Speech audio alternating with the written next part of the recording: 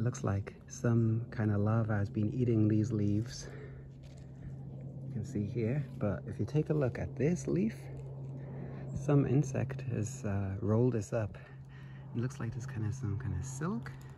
So my guess is, I wonder if a beetle did this. And inside there were probably some eggs. And when those eggs hatch, maybe they can feed on that leaf. That's my guess.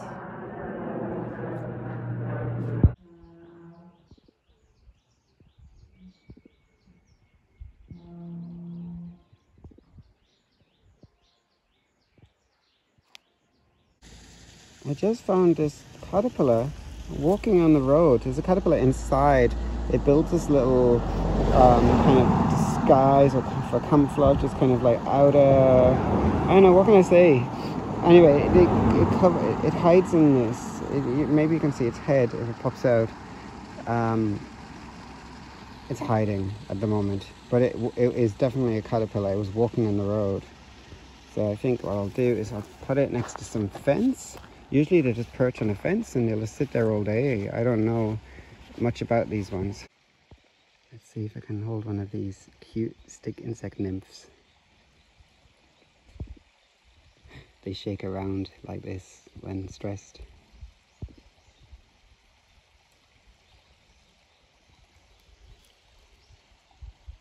Oh, there we go.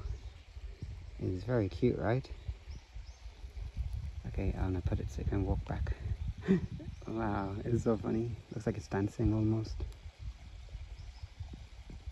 Stripy legs too. Okay. There's another one just there. I wonder, can I catch both of them? Maybe not.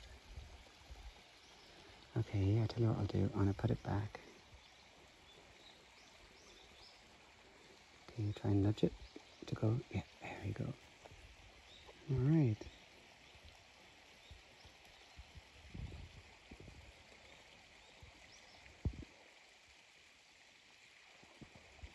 You can find lots of stick insects in the valley just down here. Well, there's a little caterpillar crawling around, but just above it is some kind of grasshopper or cricket. Just a nymph very small. I try and keep the camera steady and oh it's moving its antennae, it knows I'm there, it's checking me out.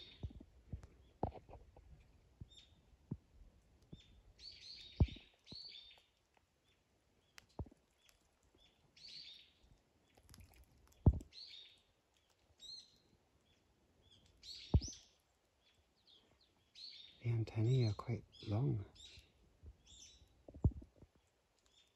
Okay, I'll just leave it. Oh, it jumped away.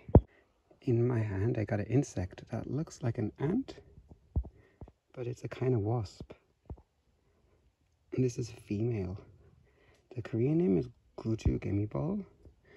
And when she's stressed, she makes a kind of sound. She has no wings, so it really looks like an ant. I heard that the male has wings and can fly, but the female not so. So I've never seen a male.